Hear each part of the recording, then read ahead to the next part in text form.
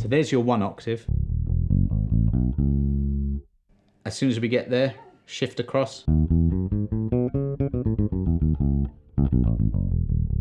But this is the thing I love about a five string.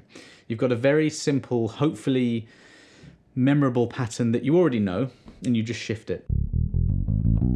There's the one octave. There's the second octave. And from there, you can get all kinds of other arpeggios, like a, a minor seventh.